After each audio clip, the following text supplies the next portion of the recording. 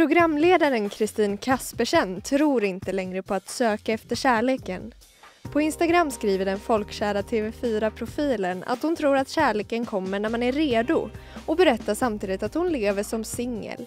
Men det hindrar inte henne från att filosofera kring de stora frågorna som kan kopplas till kärleken. Hon skriver om att behov av bekräftelse faktiskt kan leda till att man blir kär i någon.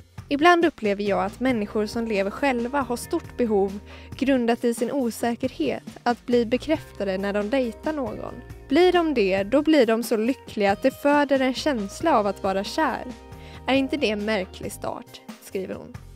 Därefter slår hon fast att om man bara mår bra i sig själv så har man inte de desperata behoven.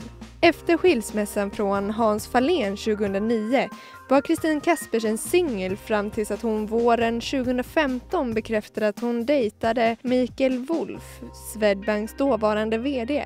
Men romansen blev kort och redan i den följande sommaren sprack kärleksrelationen.